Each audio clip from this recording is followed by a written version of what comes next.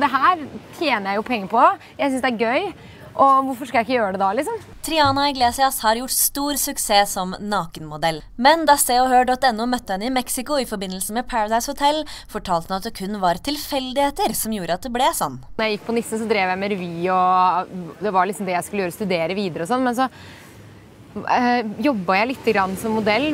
Gjorde litt sånne undertøyskataloger og noen smykkereklamer og litt sånn forskjellig. Og så var det en eh, en fotograf jeg kjenner som lurte på om jeg hadde lyst til å komme til Sverige og gjøre en jobb. Så dro jeg dit, da. Og, begynte, og da traff jeg Bingo Rimer. Eh, En svensk fotograf som har jobbet litt med Playboy. og sånn, og Han tok noen bilder av meg som havnet da egentlig ikke skulle være noen stor greie, men de havnet på et cover. Og så fikk jeg liksom én jobb til og én jobb til, og en jobb til, og det var mye undertøy og sånn. da. Men så ble det bare mer og mer, og jeg syntes det var så gøy. Og jeg møtte så mye kule folk, og så tenkte jeg bare at men det her tjener jeg jo penger på. Jeg syns det er gøy. Og hvorfor skal jeg ikke gjøre det da, liksom? Så det var helt tilfeldig. Så ble det etter hvert business, da. Jeg merket at jeg bare, ok, nå kan jeg være litt smart her. Nå kan jeg begynne å ta mine egne bilder og lage min egen bildedatabase og begynne å selge litt bilder selv. Og nå må jeg være litt smart.